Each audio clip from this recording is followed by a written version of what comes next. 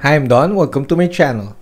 Today we paint a post-apocalyptic 1 to 50 Gundam diorama. I usually use Mecha Black Primer. It thins the same way with Surface Primer. I have a video, I'll put the link on top.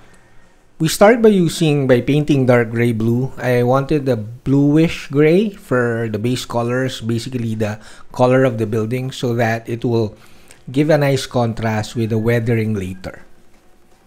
I'm painting at around 20-ish PSI using a 0.4 airbrush.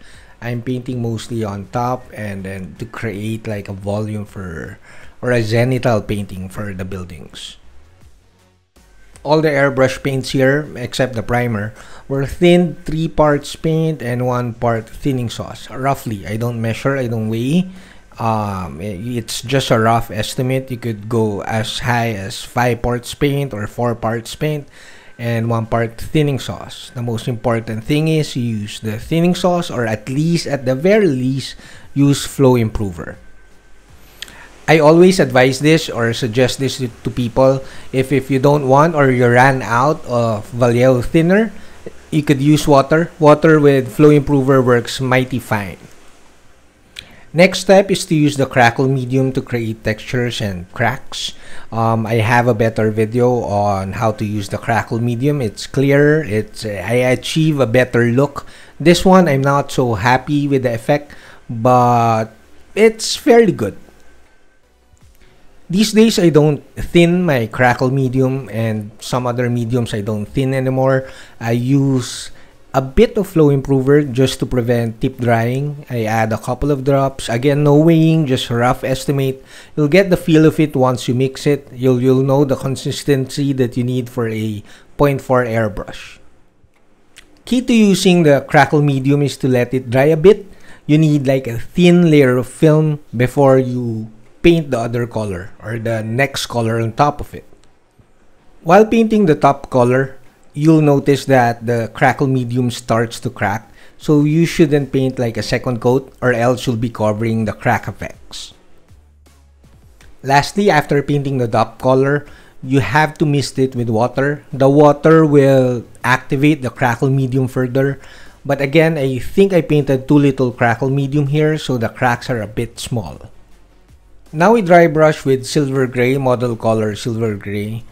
It's a very light gray color. I don't even unload my paints as much as I should because this will be toned down by washes later. This is like the easiest technique, everyone knows that.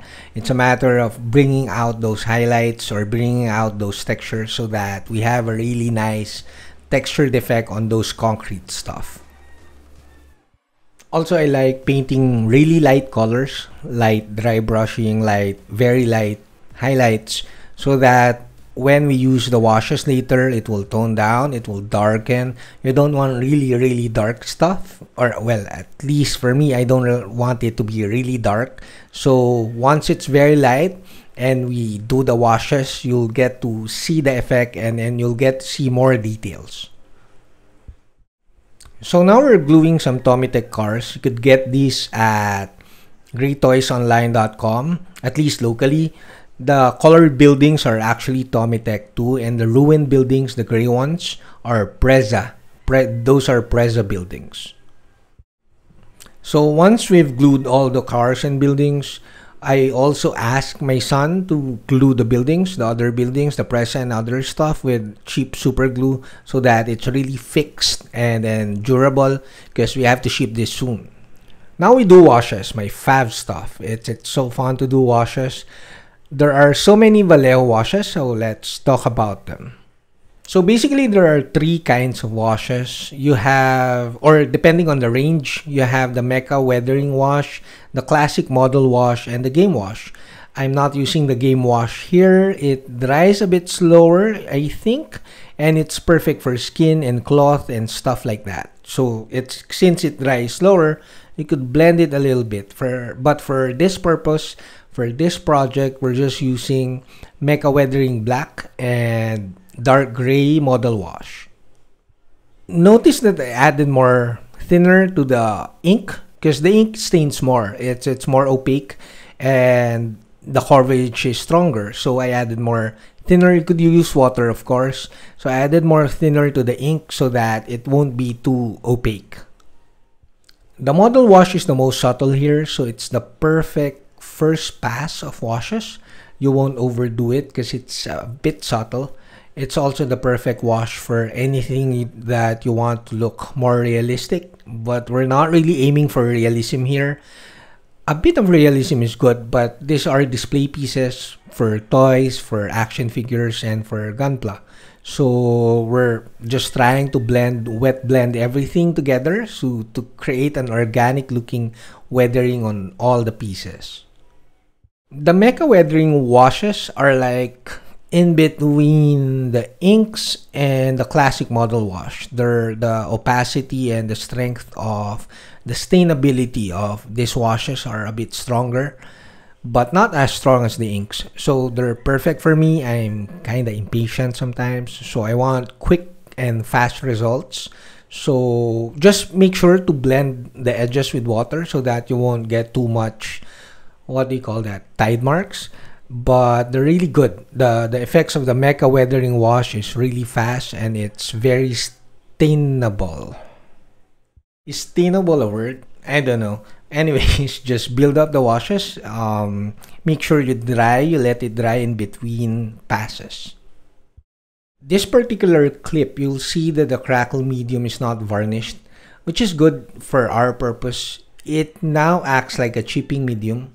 You, you'll see that I'm kind of chipping off the building parts the building walls as I apply washes so if you don't want to reactivate the chipping medium, just paint with a varnish, a satin or matte varnish before you do the washes. Now washes or weathering in general, you could do this for a week or a month depending on the purpose or depending on the project. If these are contest pieces, I would work on this for, for like a month, but these are commission projects and they're just background display pieces for toys and action figures. So we're fairly almost finished with this one. The Mecha Weathering Rust texture is highly recommended. You could, I paint it like dark to lightest, the Mecha Weathering washes and the texture paint. And you create instant effects with them. You could use the other Vallejo washes, but these are the fastest, like I, I get results really fast with these weathering washes. So I'm basically just using two paints here. One is first I use the rust texture, which is a really dark brown color. It represents old rust and it has a very teeny weeny bit texture, which is pretty good. It's out of scale if you're strict with the scaling, but it looks really nice. There's also a Mecha Weathering Dark Rust Wash and a light rust wash. I'm using light rust here, which is more orangey. The dark rust is redder, but I'm kind of like making the weathering faster here. So after the rust texture, I use the light rust wash. The orangey light rust wash basically represents new rust. It's like I, I'm thinking of it this way. The dark rust texture is old rust and then when it gets wet, it kind of bleeds out and the bleeding is the light rust wash. So basically, weathering with washes is to let each color dry so that you build up transparent colors. So I asked my daughter Sam to help me with the Vallejo tufts. So she added like random tufts all over the pieces, thinking of I Am Legend, the movie here. So we're done. Again, you could spend more time with these pieces. You could use Mecha Weathering effects paints. There are moss and lichen, streaking grime, rain marks, and all that stuff. You could also paint like more layers of washes, let dry in between coats, and depending on what the look you're aiming for. But I'm fairly happy with the results here, and I'm shipping this today. That's it, we're done. I hope you liked the video. It's 10 minutes. Like, comment, subscribe, share, and do check my website. Saludos!